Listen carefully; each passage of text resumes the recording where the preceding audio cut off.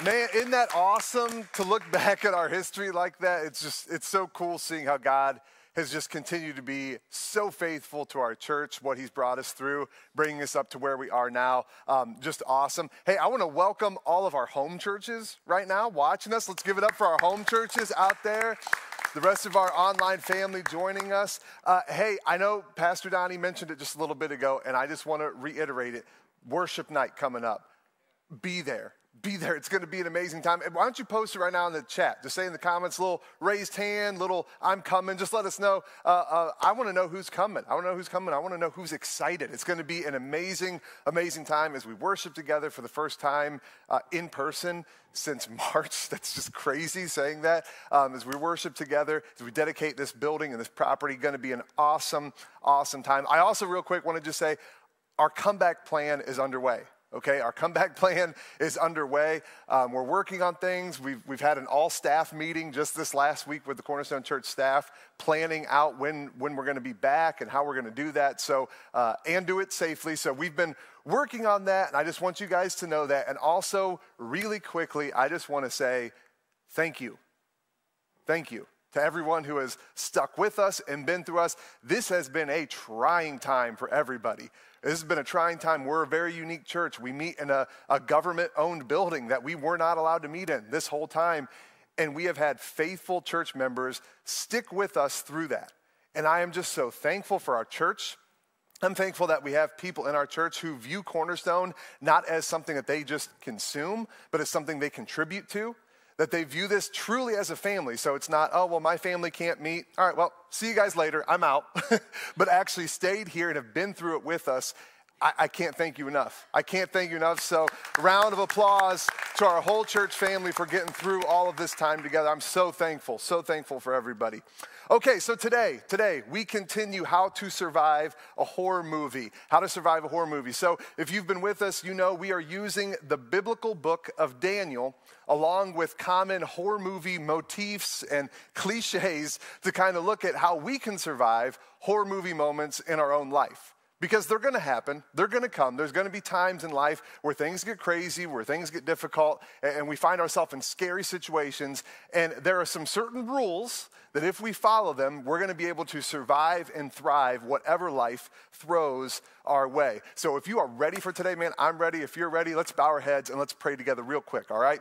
Father God, we ask that you would go before us in this moment, that you would sanctify my words. Help everything I say today to be coming from you, Lord, not from my own thoughts, my own opinions, but coming from you. And God, I ask that you would be with every single place that this sermon is being played. Every single person who is listening, that their hearts would be receptive to hear your word, and that we would allow it to transform us and to make us more and more into the image of your son, Jesus. We love you, Father, and we pray all this in your name. Amen.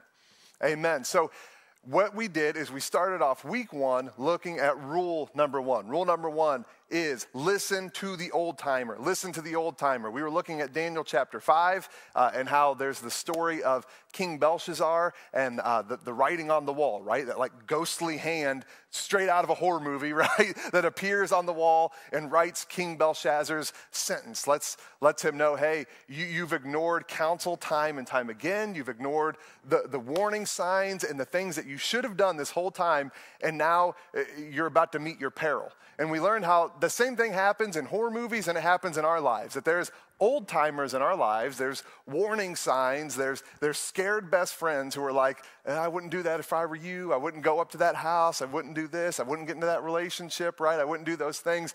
And if we want to survive or avoid horror movie moments in our life, we need to listen to them.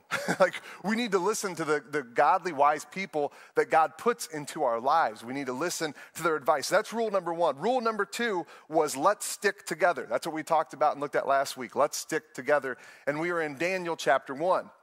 And we looked how Daniel and his three friends, Azariah, Hananiah, and Mishael, they were taken from their homeland of Israel taken from their homeland, brought to a pagan empire that didn't care about God, didn't care about their ways, their customs, or anything. And they're thrust into this situation where they have to decide to either follow God or follow King Nebuchadnezzar. And they're able to follow God, they're able to get through this moment. And the reason they're able to do it is because they stick together.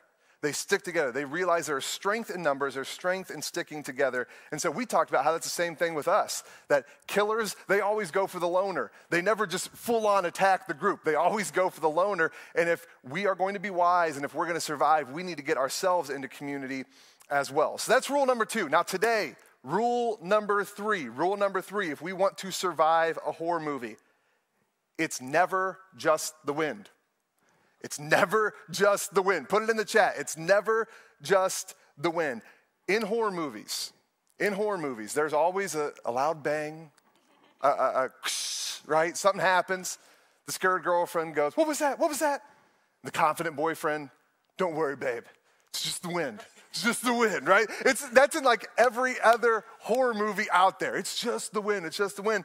And the fact of the matter is, it's never just the wind. It's never the wind. It's always a killer. It's always a ghost. It's always a zombie. It's never just the wind. It's always something terrifying. It's always something that's going to lead to their death. And it's funny because out of all of the rules that we've gone over so far in this series, I have to say, this is the one that I can sympathize with the most because I've been a it's just the wind person. Like, numerous times. And this is what I mean. So, uh, my wife, Jessica, kind of a scaredy cat. Just gonna say it. I hope I don't get in trouble for saying that with her, but you are, honey. You're kind of a scaredy cat, right? Um, and so I can't even tell you how many countless times we've had the moments where we're laying in bed or we're watching a movie and she'll, what was that? Did you hear that? What was that? And I'm like, it just call, it's nothing. It's probably just the wind or it's something outside. And she, no, no, no. What, what was that? And she, she's done that a lot, right? She's done that a lot. Well, a couple years ago, I remember she did it whenever we were laying down in bed. She, you know, heard something. And I actually, I, to be honest, I heard it too. I didn't know what it was, but I was tired and I could care less. like, I'm like, I don't know. It's probably, what are the chances it's actually something wrong? So I'm laying in bed and, you know, something makes a noise and she shoots up and she, Jake, Jake. And she's shaking me and I'm like, oh. She goes, what was that? Did you hear that? And I, yeah, no, it's nothing. And she goes, no, no, no, what was it? What was it? And I'm like, I'm not getting out of this bed. Like, it's too warm. I'm too tired. I'm not getting out of this bed. But rather than saying it's just the wind, because I knew that wouldn't lead to her like calming down, I fibbed. I fibbed. Your pastor told a lie. I'm just going to say it. I told a lie. So we're laying there and she goes, no, no, no, I, I heard it. And I'm like, it was me. It was me. Just go to bed. I, I made the noise. She, she didn't buy it. She didn't buy it for a second, like not for a second. She goes, no, you didn't. No, you didn't. What, what, what noise was it then? And I'm like, uh, and so I tried to make every possible noise I could with my mouth. I was like, no, it was me. It was, I just went like, uh, like I'm trying to, trying to make every noise I can, right? To like make her think it was me. And she's like, it was not you. That's not the noise I heard. Go check on it. So I'm like, ah, right, fine, I'll go check on it. And so I go check, and it was nothing, right? It was nothing. But if it was something, we totally would have been dead because I am like, it's just the wind. It's just the wind, right? Like that's that's my nature. So I got to say whenever it comes to these rules, this is the first one that I truly do sympathize with these people in the horror movies who, who get got by the killer because I understand it. I understand the inconvenience of checking something out, the inconvenience of acknowledging what's really going on, right? That's inconvenient. There's nothing convenient about that. It's easier to say it's just the wind. Now, we're going to see a, a, perfect example of that today. We're going to be in Daniel chapter 3. If you have your Bible, you want to open up uh, another tab uh, and search for it online. Daniel chapter 3. Now, this story that we're going to be looking at today from Daniel chapter 3, it takes place 18 years, roughly 18 years, after the story we focused on last week. So last week, that story of Daniel, Azariah, Hananiah, Mishael being taken captive uh, from Daniel chapter 1, that happened 18 years ago. So here we are, 18 years, almost two decades down the road from the events of Daniel chapter 1. And in this chapter, we see Daniel's gone. It's the only, it's, it's like the only chapter in the entire book of Daniel where Daniel is just conspicuously absent. He's not mentioned at all in Daniel chapter 3. And whenever you read chapter 3, you see that it opens up with King Nebuchadnezzar uh, ordering the construction of this big image, this big statue, this golden statue to be constructed. So he orders this statue to be constructed, sends out a pro- uh, proclamation. The entire uh, uh empire, the entire area needs to fall down and worship this idol. They're going to have a call to worship every single day. I'm going to play all this music. Whenever the music plays, that's people's instruction to, hey, bow down in reverence of our God, bow down in reverence of the strength of the empire, bow down in reverence of the king. And so the king gets this thing constructed, sends out this proclamation, but there's an issue. And we know the issue because we dealt with the issue last week in Daniel chapter 1. Daniel and his friends, they don't bow down to any other God. They wouldn't eat the food last week because it was defiled and it would be in complete contradiction to God's commands. And so we know where this is going. This is, this is not going to be good. There's going to be a conflict between the king's orders and what Daniel's friends are going to do. And at this point, whenever we're reading today, you're going to notice that there's been a name change, right? They're the artists formerly known as Azariah, Hananiah, and Mishael because they've been given Babylonian names. So now they're going as names you might, if you were in Sunday school, these are going to sound from, uh, more familiar Shadrach, Meshach, and Abednego, right? If you were in Sunday school, the little felt mark, you know what I'm talking about then, right? You know what I'm talking about. So Shadrach, Meshach, and Abednego they're suddenly in another horror movie moment. And I've got to imagine that they're, they're saying to themselves, man, this feels a lot like what we've been through before. You remember that? It's, man, it's been like two decades ago, but do you remember whenever we first got here and we were put between a rock and a hard place of do we serve God or do we serve the king? Do we eat this food or do we say no and honor God? What do we do here? And so they're in the same kind of situation again. And so you wonder, okay, well, what are they going to do? Well, we know what they do. We do what falls in line with their character. They do what godly people do. They say, hey, even though, even though this is going to upset him, even though it could mean our lives, we are not going to bow down to this false God. And that's where we pick up in verse chapter 13. That's where we're going to be starting today. Daniel chapter 3, starting in verse 13. This is what it says Furious with rage, Nebuchadnezzar the king summoned Shadrach, Meshach, and Abednego. So these men were brought before the king, and Nebuchadnezzar said to them, Is it true, Shadrach, Meshach, and Abednego, that you will not serve my gods or worship the image of gold that I've set up? Now, when you hear the sound of the horn, the flute, zither, lyre, harp, uh, harp, pipe, and all kinds of music, if you're ready to fall down and worship the image I made, very good. But if you do not worship it, you will be thrown immediately into a blazing furnace then what God will be able to rescue you from my hand? Wow, right? Talk about a horror movie moment. Talk about a terrifying situation to find yourself in. Now, I gotta, if I'm trying to put myself in their shoes, and Shadrach, Meshach, and Abednego, if I, if I put myself into their position, it could be tempting to think, you know what? It's nothing. We'll be fine. We'll be fine. It's just the wind. it's just the wind. There's nothing to see here. We'll be fine. And you want to know why we'll be fine? Because God gave us favor with the king. Remember? Remember 20 years ago? Remember this happened before. This happened before with the food, and, and we stood up and we said, We're not going to eat this food. We won't defile ourselves with this food. We're, we're going to stay true to God. And because of that, God gave us favor with the king. And we got raises. I mean, we've been shooting up through the corporation, right? Like we, we've been moving up in the administration. God gave us favor. And so, you know what? There's a lot of smoke and mirrors. Nothing's going to happen, though. We'll be fine. It's just the wind. It would have been tempting to think that. And the reason I know that is because that's what you and I do so often. We do this so often. What we do is we cling to God's previous provision even in the midst of current circumstances that are terrifying, right? Well, well, God came through for us this one way, way in the past, and I'm sure He's still gonna do it again. We do this in church all the time, right? Those old worship songs, those are the songs that God moves through. Those old ones. We just need to keep doing those old ones over and over. The old hymns, those are the good ones. These new ones, nah.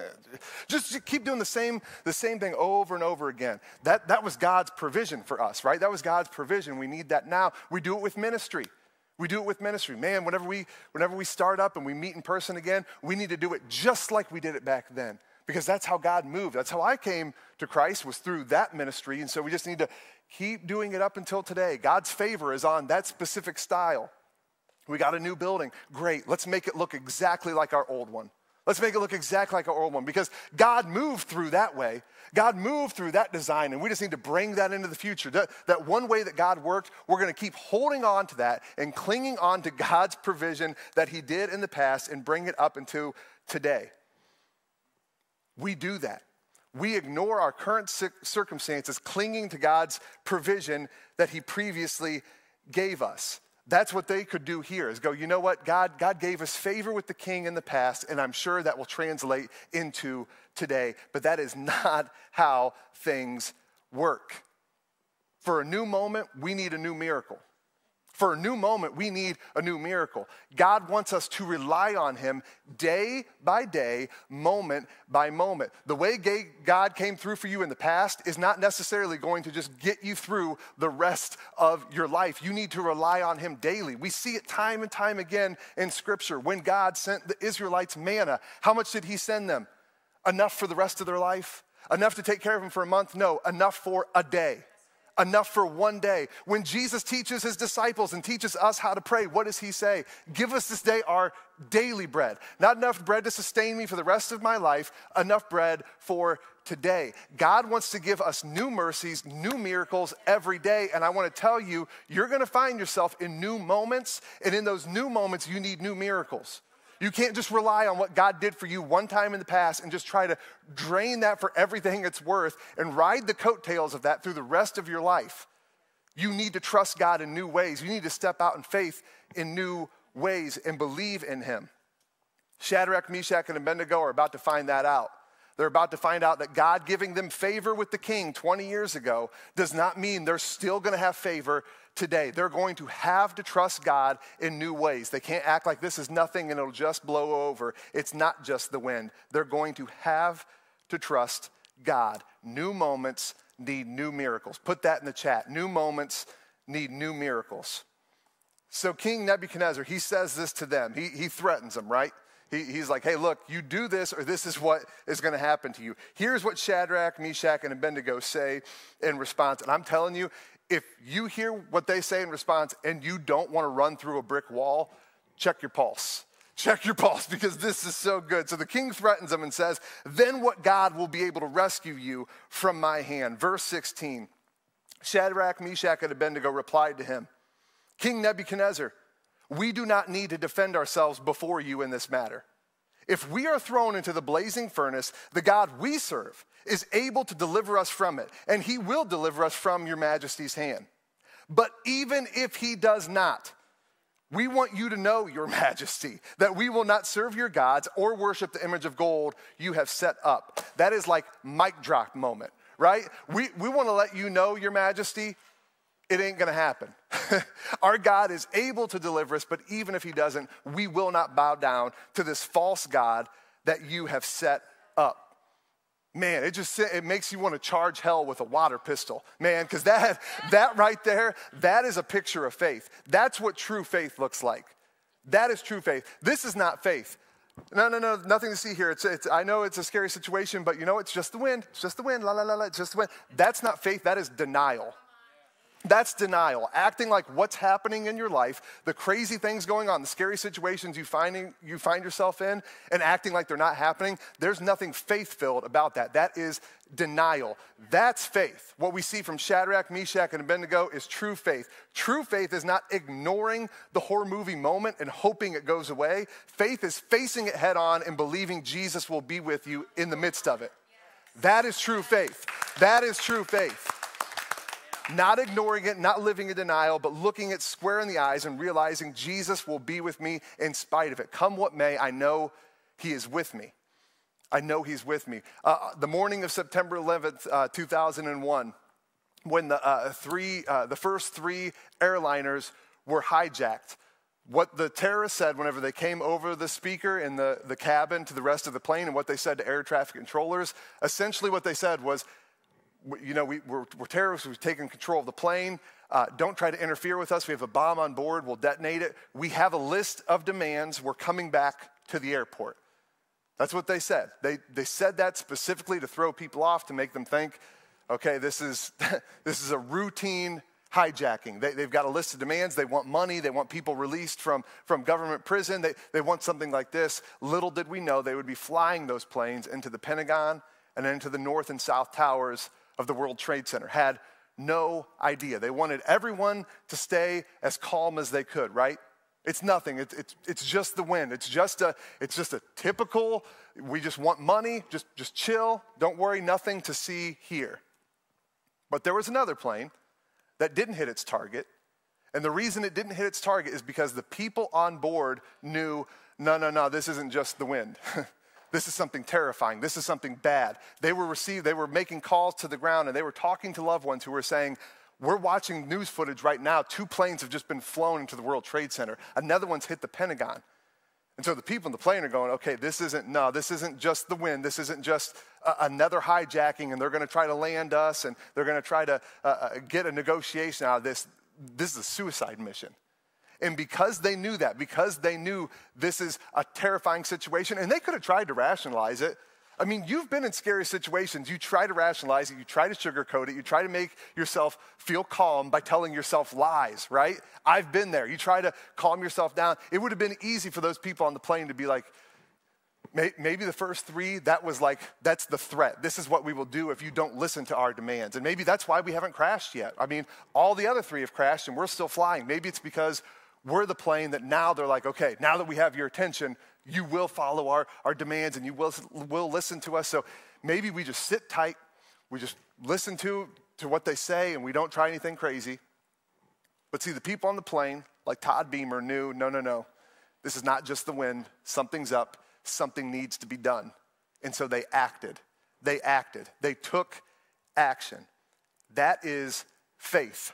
that is taking action and saying, No, I'm not going to try to sugarcoat this to myself. I'm not going to try to make this situation better than it is and just, you know, give myself something to make myself feel good in this moment. No, I'm going to look the reality of the current situation I'm in and how dire it is, and I'm going to face it head on. That is what we need to do not sugarcoat our current situations that we're going through, not sugarcoat the horror movie moments that we may find ourselves in right now in our relationships or in our finances or in our work. No, no, no. Don't sugarcoat it. Face it head on with Jesus at your side. Face it head on. Let's continue. Daniel chapter 3 and verse 19. So after they say, hey, look, we, we're not going to do it, we're not bowing down, this is what happens. Verse 19.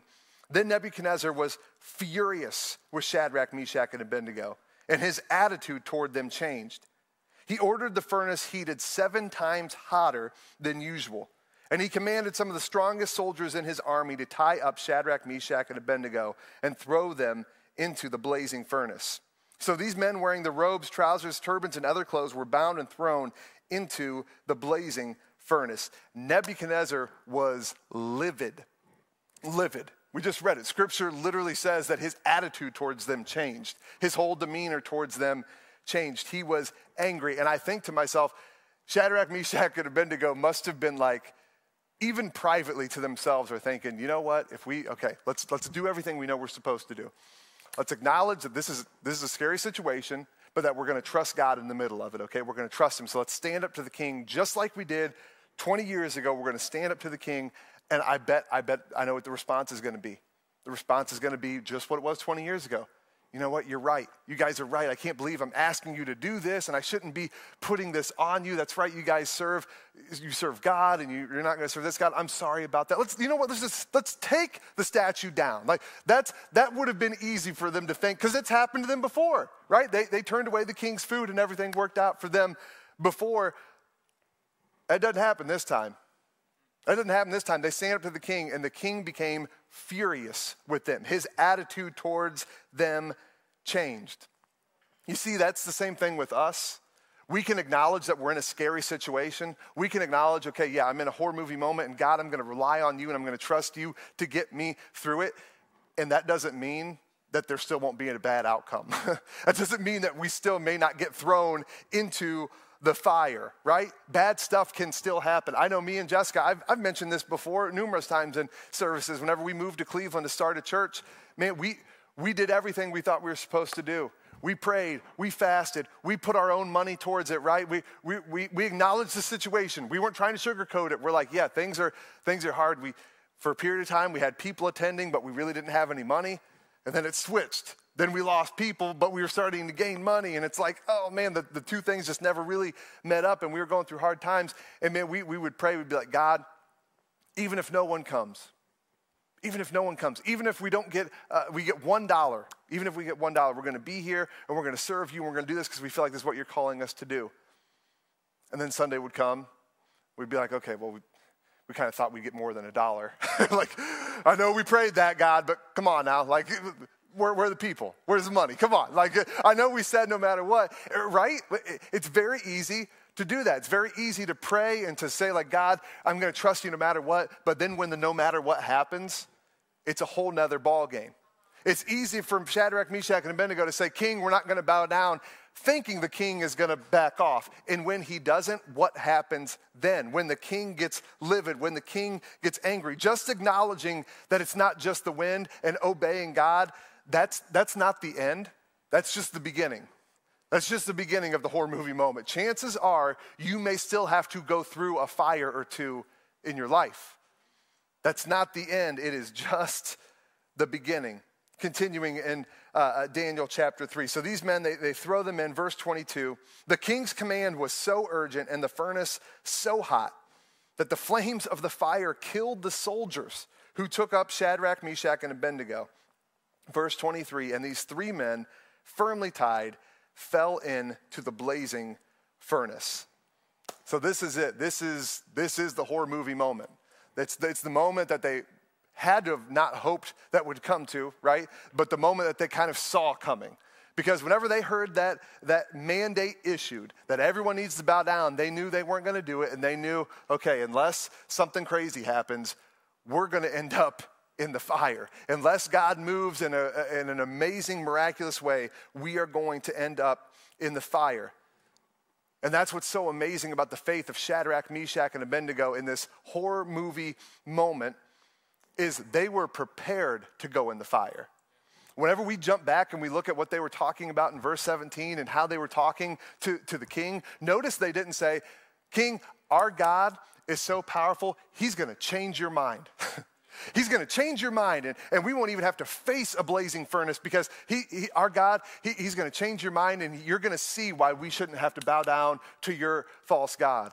And they didn't say, hey, king, you know what? We're not going to listen to what you say. We're not going to listen to your mandate. And even if you try to throw us in a furnace, God is going to, he's going to provide an escape. We'll be able to get away from you. We'll be able to like slip out of your custody. No, they said in verse 17, hey, we're not going to do this. And if that means the flames, then bring it on.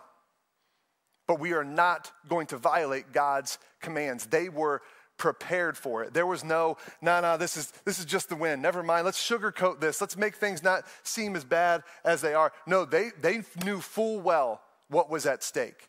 They knew how dire their situation was. And even with that in mind, they went forward, trusting God to be faithful. Even though they didn't know the outcome, even though they didn't know what it was going to look like, they're like, you know what, God, we're trusting you and we're believing you. And I think, man, do we need that right now? With everything we're going through, the horror movie moments we're going through, COVID 19 that we're going through. I mean, we, when this thing started back in March, it was a, we thought it was going to be a two week break oh, nice, like a little two weeks for me to recollect myself and, you know, just kind of get things back in order before the world gets back to normal. And it's October. like, we, and we have no idea when it's going to end. We have no idea. Even countries that it seems like they had it, you know, completely stamped out, you're seeing little rises in it across the world. I mean, we just, we don't know. We have no idea what the outcome of this is going to be. The election is coming up. Thank God. And I know I'm not the only one who's like, man, can November 3rd get here soon enough so we can just be over with it? But, but the fact is, November 3rd is probably not the end of it, right? It's probably not the end of it. Both sides, in one way or another, have said, like, hey, if, if this thing is really close, then yeah, we're not just going to concede the election. We're going to see, like, we're, we're going to have lawyers and we're to see what's going on. This thing could go into the new year. Like it could go into the new year. And whenever you think about those things, you're like, oh, no, like, no. Like just end COVID, end the election. Can these things be over? Because we are in horror movie moments. And we can take a lesson from Shadrach, Meshach, and Abednego and go, you know what? We don't know how these are going to turn out, but we do know that they're scary. We know there's a lot at stake with the election. We know there's a lot at stake with our health and with COVID 19 and the crisis. We know there's a lot at stake. We know it's bad.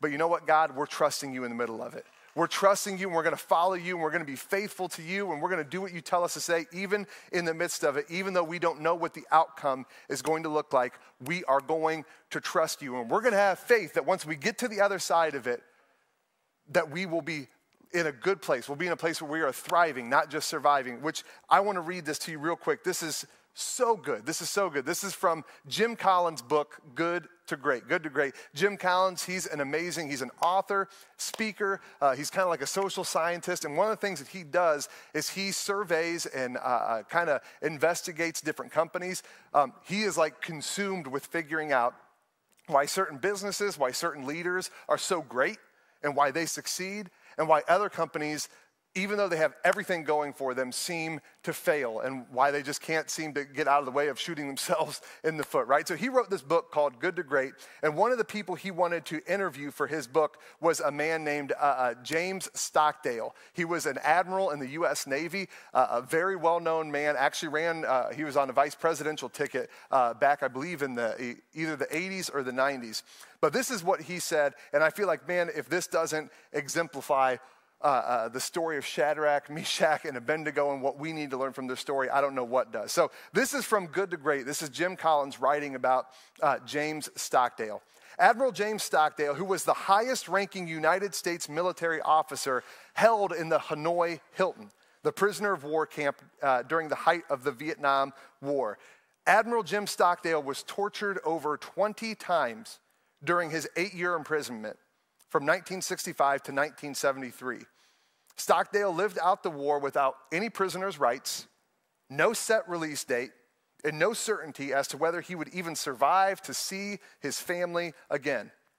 He shouldered the burden of command, doing everything he could to create conditions that would increase the number of prisoners who would survive the camp unbroken, while also fighting an internal war against his captors in their attempts to use the prisoners for propaganda.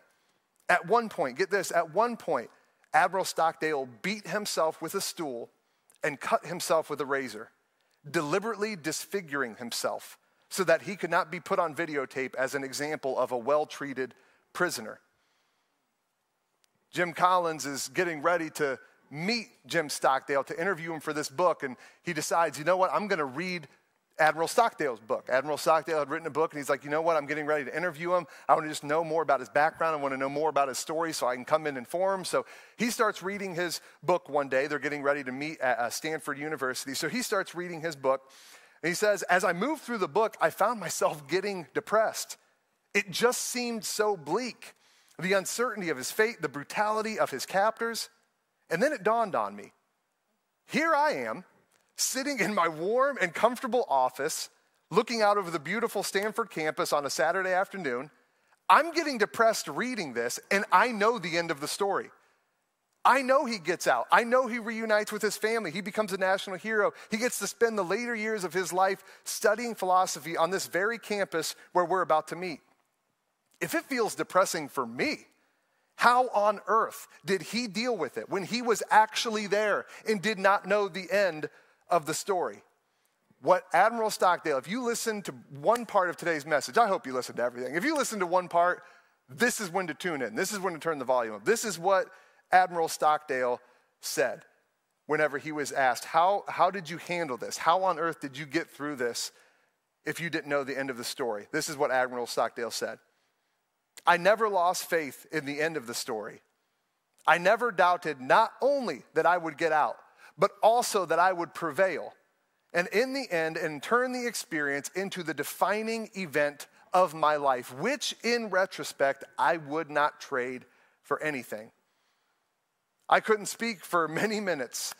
Finally, after a long silence, I asked him, Jim, who didn't make it out? Oh, that's easy, he said. The optimists. The optimists? I don't understand, I said, now completely confused. Admiral Stockdale said, Yeah, the optimists. Oh, they were the ones who would say, We're going to get out by Christmas. And then Christmas would come and Christmas would go. Then they'd say, We're going to be out by Easter. And Easter would come and Easter would go. And then Thanksgiving. And then it would be Christmas again. The optimist died of a broken heart. Another long pause. Then he turned to me and said this Jim, this is a very important lesson. You must never confuse faith that you will prevail in the end, which you can never afford to lose, with the discipline to confront the most brutal facts of your current reality, whatever they may be. I'm going to read that again. You must never confuse the faith that you will prevail in the end, which you can never afford to lose. You can never afford to lose that you know how this story will end. With the discipline to confront the most brutal facts of your current reality, whatever they might be. Put another way, it's never just the wind. It's never just the wind. Don't sugarcoat where you're currently at.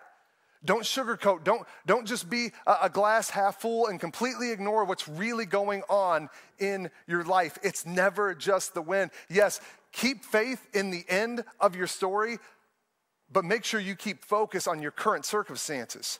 Make sure you keep focus on your current circumstances of what's going on because if you try to sugarcoat it, you try to act like it's not that bad, you think you can do it on your own.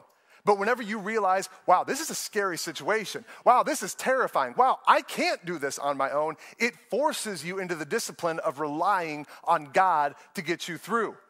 You see, Shadrach, Meshach, and Abednego could have thought, you know what? We've had favor with God. We can talk our way out of this, and He's given us favor with the king. They realized, no, no, no, this, this is bad, and we're going to need Him.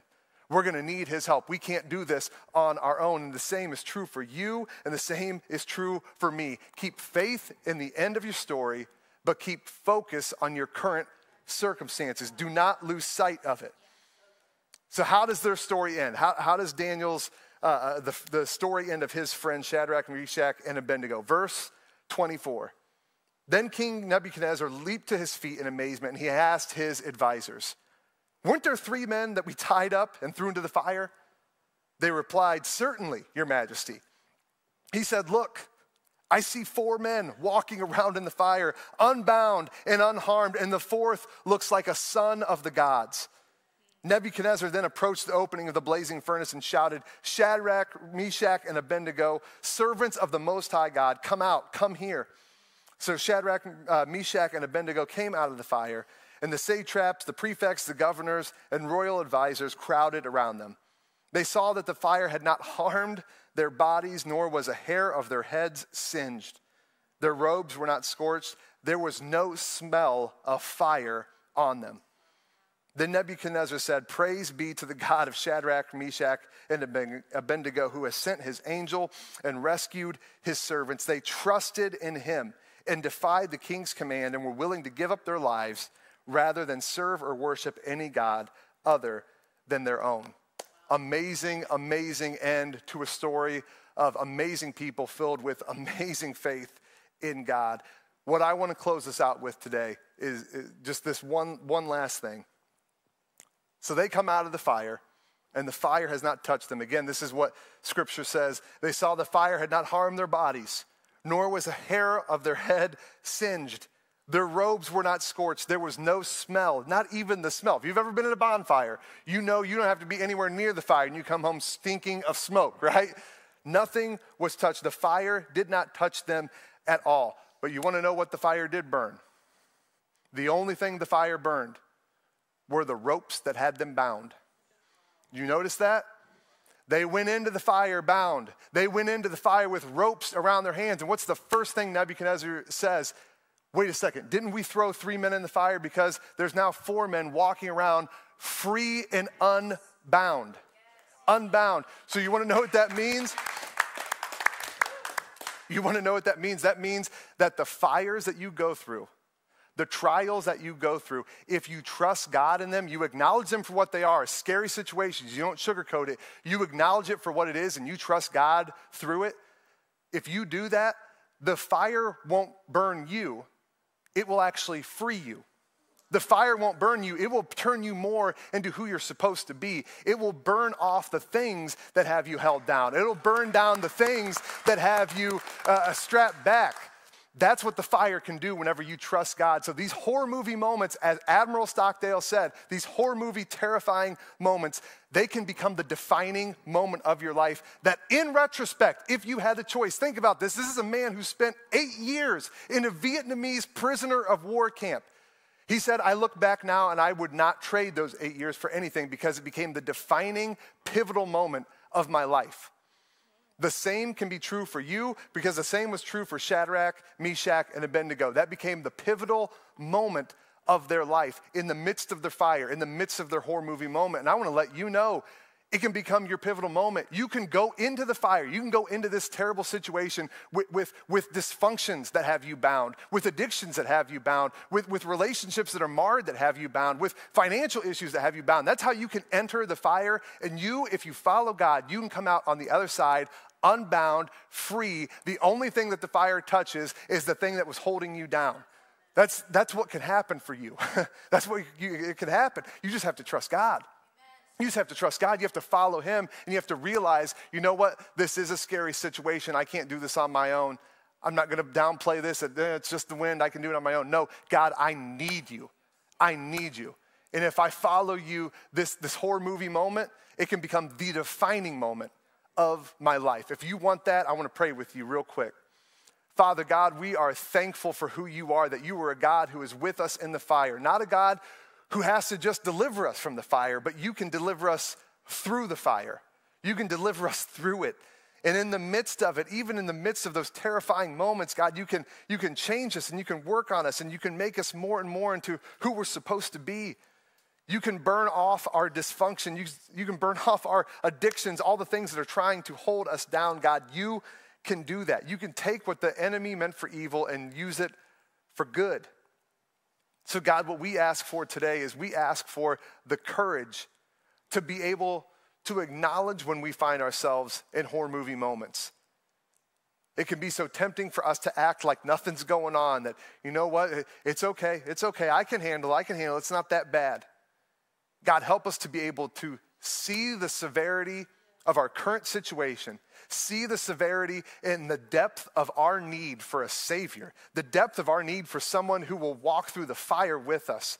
And then, God, to put our faith and our trust in you so that as we go through our horror movie moment, we can come out on the other side in a better position than we went in it. We can't do it on our own, God. We ask for your help today, and we will give you all the praise, all the honor, and all the glory. And it's in your name that we pray. And everyone said in agreement. Amen. Amen. Can we give it up for our God?